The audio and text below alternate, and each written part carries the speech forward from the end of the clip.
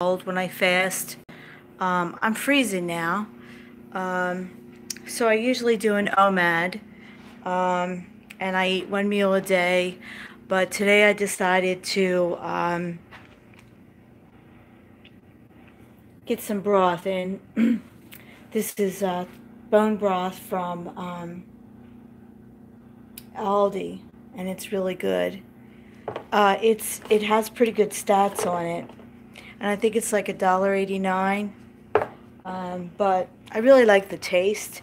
They only had the bone broth um, for turkey. That's it. Uh, they didn't have any. They have other, um, you know, broths like chicken broth, vegetable broth, and beef broth. But they did. This is the first item that I've seen that has the bone broth. So um, I'm just. I just finished distilling some water, and um, that's the kind of water I drink because I do get the water from. Um, it's uh, sometimes reverse osmosis or sometimes it's spring water. Um, I think my husband got it from Walmart. I try to use the uh, BPA, uh, BPA free, BPA free stuff. Uh, yeah, so I made myself some green tea, and uh, yeah, so I'm drinking that. And you know, when we were on vacation, I don't know if you ever had anybody that um, continuously tempts you, but yeah, I live with a kind of person that tempts me with unhealthy food, and I really have to uh, dig deep to avoid it, right? So when we were on vacation, I indulged a little bit, just a little bit. Um, I think I had some sherbet and I think I had uh, one ice cream cone one day from the dollar store.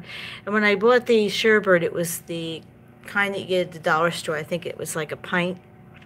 And, you know, they say that when you, if you're going to indulge, you only buy like enough for a single indulgement, you know, like a treat or whatever. You don't want to buy a big bag and stuff. And so, I don't know.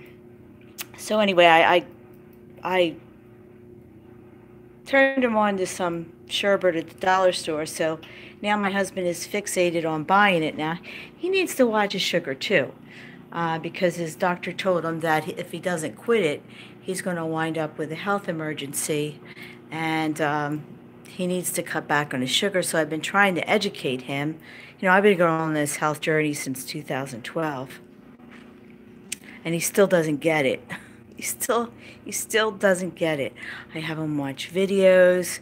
Last night we watched Dr. Fung um, and Dr. McCullough. Dr. Fung putting out some new videos. He's has a new book out, really good. If you don't watch Dr. Fung, you should.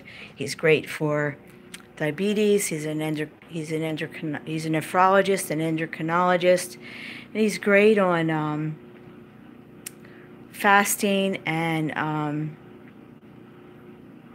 getting your blood sugar down, right? And advocating for uh, people that are obese to uh, try to change their life through fasting. So yeah, so um, I'm drinking that. My husband just called. He said he wanted to go to the farmers market because I wanted to check out to see what kind of uh, farm uh, uh, farm raised beef that they have. Um, one thing that troubles me now, and, and with the with the salmon, like I've been buying a wild caught salmon. Um, but I'm gonna turn the camera around. I can't really see it, but what it says is it says that it's been wild caught salmon. Wild caught salmon. But the thing about it is that bothers me, and this is from Walmart, and I had to take the other one back from Aldi because if you look, if you look, it says um, certified sustainable and has the uh, emblem on there. And, you know, it has the regulated. But what troubles me is, is if you look, uh, product of China, wild caught in Russia, processed in China.